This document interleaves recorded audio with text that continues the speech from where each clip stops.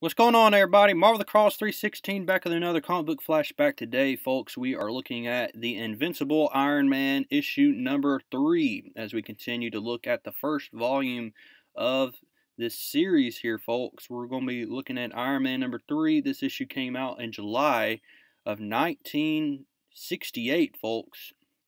And we're going to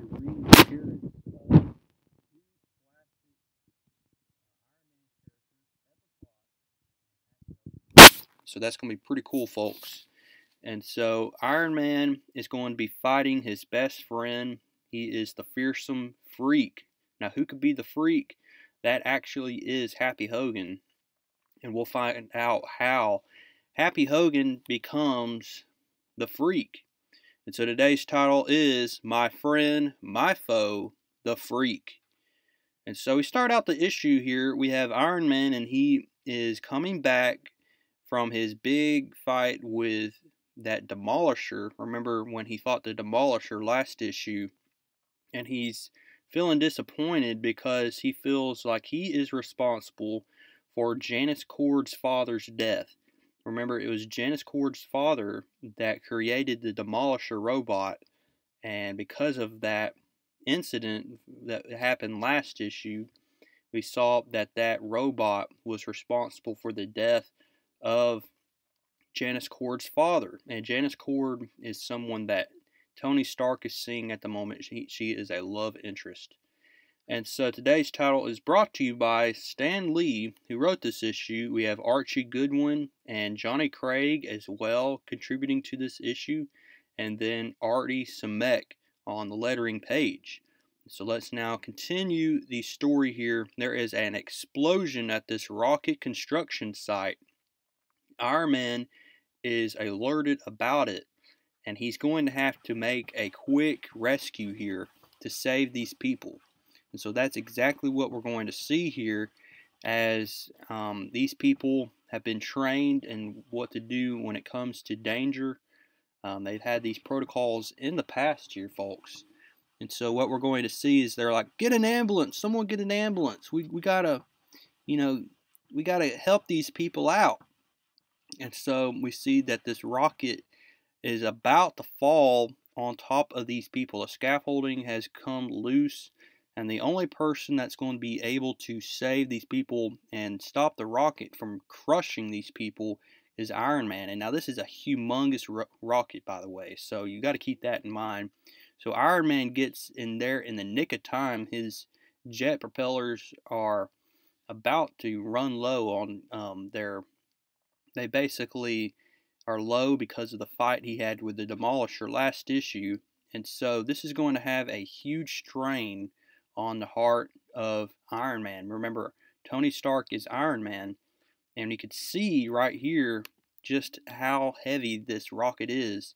And the more weight that's being applied on Iron Man, the more his heart is going to give out. And so we see here that everybody is able to escape. This guy says, Iron Man, we did it. Every man is out and safe. So that leaves him to lead the rocket to just slam. And I mean, he leaps out of the way. He doesn't even, you know, put it down nicely. He couldn't because the strain that is going on his chest. And this is going to have a much bigger effect than he thought. This holding the rocket for that amount of time to save those people I mean, at this point, Iron Man can't even talk. He can't say anything. He can't thank the people or anything. And people are like, what's going on? How about that?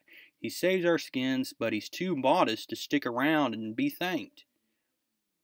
And so we see that even Iron Man's not even in the mood to talk with um, what we see here. Remember, this is Sitwell here. He was he is a agent of S.H.I.E.L.D., and we met Whitney Frost last issue because we saw that um, Jasper Sitwell was able to save Whitney Frost last issue. Iron Man has no uh, intentions of talking with Jasper Sitwell. He is weak, he's hurting, and we see Sitwell's like, How about that? What the heck is going on with Iron Man? Why don't he even speak to me? He just kept on walking. Well, if he would have known that is actually Tony Stark in this armor. And Tony Stark has to get um, charged in his chest here. That is what gives him strength. Is there's this cord here that allows him to charge. But when he comes to, we find out that his chest is still in pain here. He's still feeling weak. And so what he's realized here is that this entire time while he's been fighting supervillains, he has not been able to make an upgrade in his armor. And because of that, now the chest device that he uses to heal himself is just not going to work. And so now he's stuck in this situation where he can't go anywhere. He can't unplug himself from this chest device or he'll die. And so he has to tell everybody um, that he's going to have to cancel all his meetings. I mean, he has important meetings with these people, and he has to cancel them all, um, and he's not able to even tell them exactly why. And so he, this he's like it's a hopeless situation for Tony Stark. He said it mustn't end like this for Tony Stark and Iron Man. So what is Tony Stark going to do? Well, there's only one person that knows the identity of Iron Man, and that is Happy Hogan. And he is married to Pepper Potts. And we see that Pepper Potts and Happy Hogan used to work for Tony Stark back in the day. And so we see that Happy Hogan gets the newspaper, sees that Tony Stark is in seclusion, and he's going to go check up on his pal along with his wife Pepper Potts. We see that Tony Stark is working on some plans here on how to develop his new armor, but it's hopeless because he can't even construct it for himself. And so what we see here is that one of um, Tony Stark's secretaries says, Mr. Stark, uh, Sitwell here, sir. Actually, this is Sitwell, and he says, There's a couple here who insist on seeing you. The gentleman seems violent. And we see Tony Stark is like, no, do not let him in. I said no one can come in. But then he realizes that this is actually Happy Hogan, the only one that shares his secret. And so he tells Jasper Sitwell that actually he can come in, but only him. And so Happy Hogan is going to be pretty much briefed on what's happened here. And Happy Hogan is going to be given the responsibility to create this new Stark armor, this new Iron Man armor, and this is the first time he's ever done this. So he goes back to Pepper and tells her, Look, it's going to be a while. I can't tell you exactly why, but you just go on home. But she says no, she's not going to go. She's going to wait here for her husband. And so we see that Happy Hogan is given this helmet that has this speaker inside, so Tony Stark is able to speak to Happy while he creates this armor, and he's given every um, every instruction he needs to create this new armor, and he's pretty much successful in creating this new armor. When all of a sudden that chest device is losing its power here, and Tony Stark's chest is beginning to hurt even more. So Happy Hogan has to speed up the process, and in the the midst of that, he is caught in the, the midst of this Cobalt bombarder, and that, that Cobalt bombarder is going to affect Happy Hogan, as we soon see. And Happy races down the hallway, puts on that armor. He doesn't feel a pulse on Tony Stark, but we see Happy Hogan, the effects of that Cobalt gizmo starting to have effects on him, and this is where he's going to change into the freak.